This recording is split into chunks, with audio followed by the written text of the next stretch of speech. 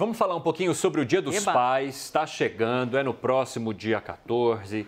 É uma época de bastante homenagens, de lembranças, mas também de compras. Quase metade dos brasileiros planeja comprar um presente, movimentando o comércio.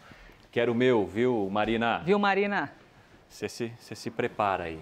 João Borda, conta pra gente o que esperar então dessa data. Bem-vindo, boa noite.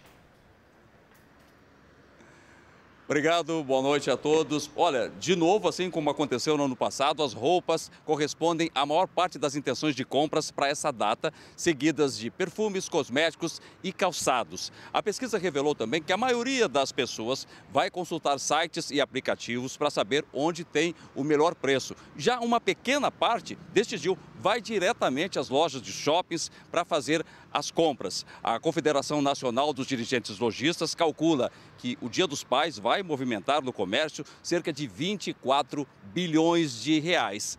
78% dos consumidores já decidiram que vão pagar à vista, provavelmente usando o Pix. Já uma outra parte, 37% deles, vai fazer a compra parcelada e vai usar o cartão para dividir, ou seja, o Dia dos Pais vai deixar para muita gente uma continha que vai ser paga aos poucos.